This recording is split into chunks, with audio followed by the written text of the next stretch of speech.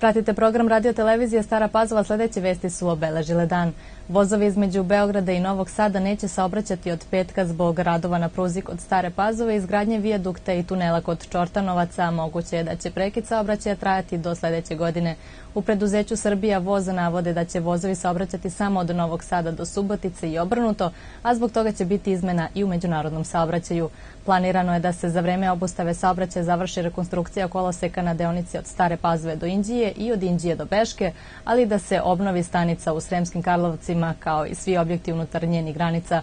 Vozovi bar godinu dana neće ići preko Novog Žeželjevog mosta nakon što je 7. aprila prošle godine preko njega uspostavljen redovan železnički saobraćaj.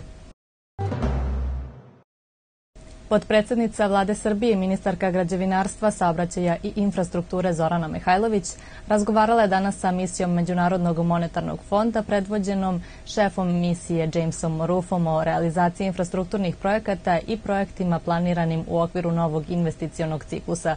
Mihajlovićeva rekla da je tekući ciklus investicija u drumskoj i železničkoj infrastrukturi blizu završetka i da Srbija u 2019. kreće u novi investicioni ciklus vredan više od 5 milijardi evra Takođe, ona je danas sa izvršnim direktorom kompanije DSD Noelom Manfredom Singerom potpisala ugovor o izvođenju radova na rekonstrukciji brodske predvodnice na hidroelektrani Đerdap 1, čija je vrednost 27 miliona evra. Ministar rudarstva i energetike Republike Srbije Aleksandar Antić i ministar energetike i rudarstva Republike Srpske Petar Đokić sastali su se u Beogradu u okviru nastavka aktivnosti Zajedničkog energetskog komiteta. Tema današnjih razgovora bila je rešavanje imovinsko-pravnih odnosa dve gasne kompanije javnog preduzeća Srbija Gas i Gas Promet Pale kako bi dve strane nesmetano nastavile sa razvijanjem zajedničkih gasnih projekata.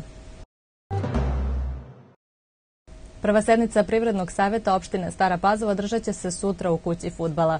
Na sednici će biti razmatrane odluke o budžetu za opštinu Stara Pazova za 2019. godinu, izmena zakona o porezu na imovinu, razmatranje predloga odluke o izradi strategije održivog razvoja opštine Stara Pazova za period od 2021. do 2031. godine i druga pitanja.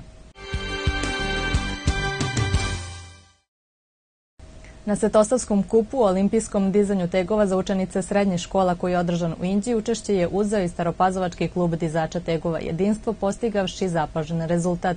U kategoriji do 64 kg telesne težine Dragana Tišma, učenica trećeg četiri srednje ekonomsko-trgovinske škole Vuk Karadžić iz Stare Pazove, osvojila je treće mesto i bronzanu medalju.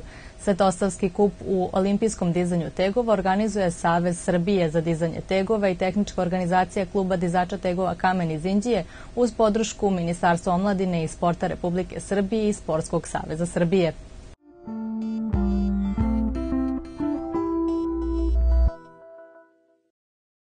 Vreme sutra pretežno oblačno i u većini krajeva suvo, samo ponegde slabe mešovite padavine. Vetar uglavnom slab promenjivog pravca. Najniža temperatura od minus 2 do 1, a najviša od 2 do 6 stepeni. Pratili ste vesti, hvala na pažnji.